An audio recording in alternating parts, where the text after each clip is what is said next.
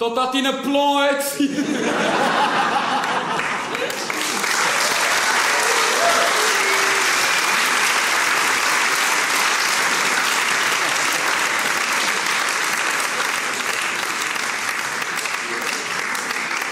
vroeg er nog eens dan niet een beetje veel materiaal voor zo'n zaal. Dus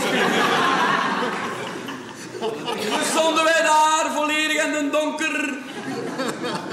Maria en ik. Of Agnes en ik. Ik weet niet wie dat vast had op dat moment. Het kan Rosa geweest zijn ook, weet het niet. We stonden wij daar. Op die plek waar dat er niet eens een nooduitgang was. We hebben voortgesloot. Dat meisje fluisterde in mijn oor. Frans, zo goed dat jij tijd kunt winnen, zeg.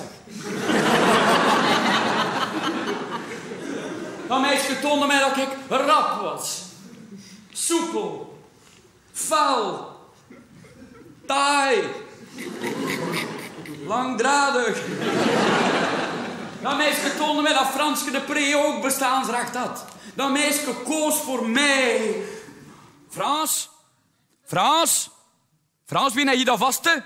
Frans en Rosa, hij is twee troon. Het was Rosa dat ik vast had. Rosa was ook goed. Rosa was niet lelijk. Ik heb haar dat compliment dikwijls gegeven. Rosa, je zegt niet lelijk. Ja.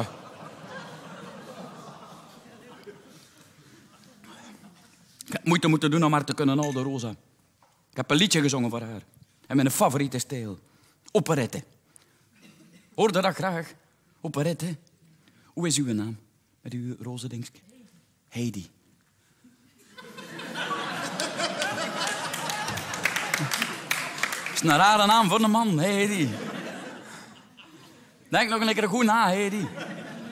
Erik. Erik. Erik, wat dat jij nu vrije tijd doet, dat is uw zaak. Ik kan me daar niet mee te vermoeien. Erik. Houden van operette, Erik. Rudolf Schock. Zegt u dat iets? De enige goeie Duitser dat er tot hier geraakt is, Erik. En die stijl heb ik een liedje gezongen voor Rosa. Je zult het wel graag horen, Erik. Liedje voor Rosa.